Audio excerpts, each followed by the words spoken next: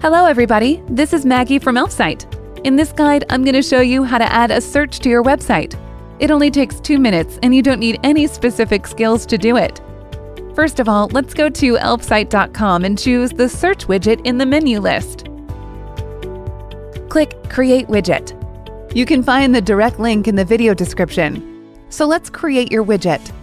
Begin by choosing a template that suits your case best. Click Continue with this template. To enable the widget, you'll need to get a Google API key and search engine ID first and paste them to the required fields on the Connect tab. To present a search bar on the website, pick the type and style of the button on the Field tab. Customize search results and widget design on the Results and Settings tab. That's it! Your widget is ready! Also, you can check other settings to adjust layout, size, colors, and fonts. Click Join to install to add the widget to your website. Log in or sign up to Elfsight apps. This is free, no credit card required.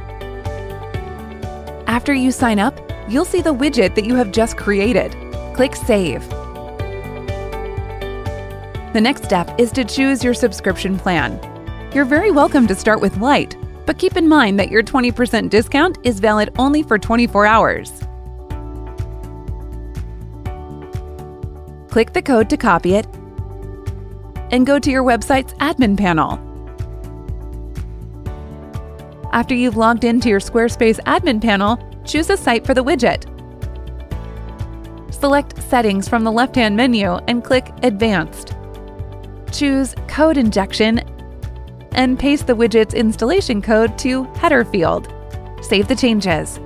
Please keep in mind that the code injection feature is available only on Squarespace Business Plan. Go to the page to check your widget. This is how easy it is.